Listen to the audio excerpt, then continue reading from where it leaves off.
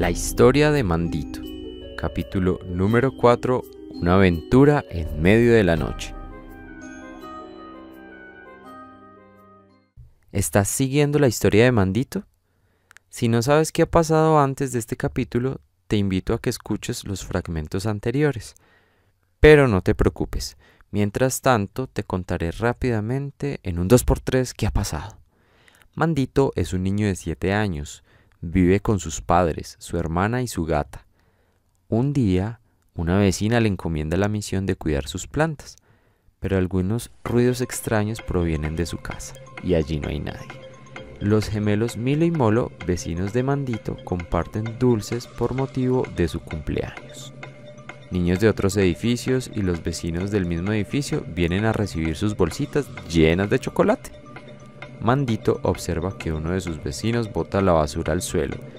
Quiere hacerle caer en cuenta de su error, pero espera ir a su casa a hacer una tarea del colegio y al llegar su madre le dice que él no está. Después de esto, Mandito se fue pensativo y entró a su casa. Se sentó a hacer su tarea. Cenó, jugó un rato con Tostada y su hermanita Rosita, y luego se preparó para dormir. Ya entrado en la cama, observó algo extraño por la ventana. Un hilo colgaba proveniente del piso superior, con un pequeño papel atado en el extremo inferior.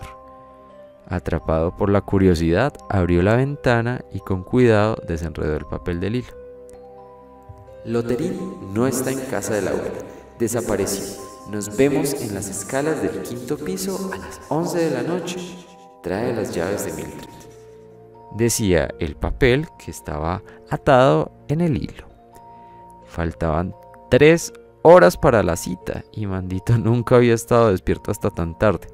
Tuvo que hacer un gran esfuerzo para esperar. Llegada la hora, todos dormían. Mandito salió sigilosamente para no despertar a nadie y dejó entrecerrada la puerta para no hacer ningún ruido.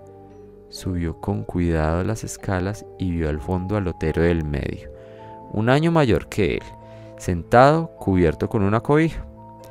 Hablando muy suave, el hermano de Loterín explicó a Mandito que después de la repartición de dulces de Milo y Molo, al llegar al apartamento no estaba Loterín. Primero pensamos que estaba contigo, Mandito, pero mi madre llamó a la tuya para preguntar y allí no estaba. Estamos muy, muy tristes, pero no sabemos dónde pueda estar. Él me contó lo de tu misión con las plantas de Mildred, pero ya tú sabes lo de los sonidos. Sospecho algo. Abrieron la puerta con cuidado. Era aterrador entrar al lugar. Nunca habían estado allí.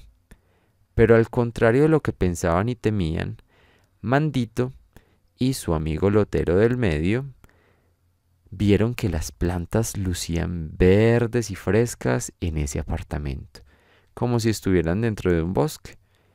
Pero el piso estaba lleno de muchísima basura, en especial de dulces. Reconocieron los empaques de chocolates de Milo y Molo, entre toda esa cena tan desagradable.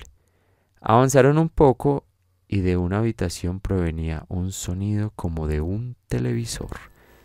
Y allí estaba Loterín, sentado en un sillón observando la pantalla que emitía unos raros sonidos con imágenes sin sentido. El pequeño de los loteros estaba como hipnotizado, sus ojos entreabiertos y en su mano tenía uno de los chocolates, pero de él salían gusanos.